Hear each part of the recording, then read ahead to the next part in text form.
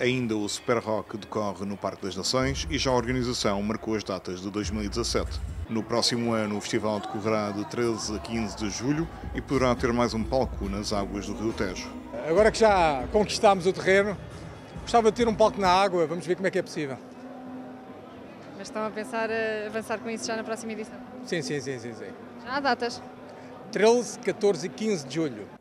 Hoje, no terceiro e último dia do Festival de Música, Luís Montes fez já um balanço da 22ª edição, sublinhando as melhorias no recinto, mais zonas de descanso e aposta em copos reutilizáveis. Correu bem, estou muito feliz, as pessoas estão uh, satisfeitas com a melhoria.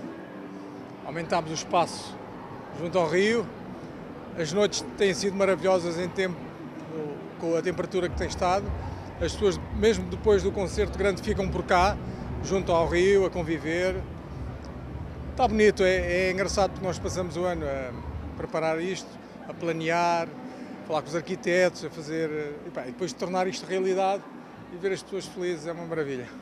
Com a expectativa de ver o rapper norte-americano Kendrick Lamar, o responsável pela enchente de hoje, registaram-se filas demoradas para entrar no recinto, mas o promotor dá uma justificação. Tem que ser tudo revistado, ainda por cima, com a paranoia de segurança que há neste momento, as forças policiais têm que revistar toda a gente e, portanto, aí não podemos abrir mão.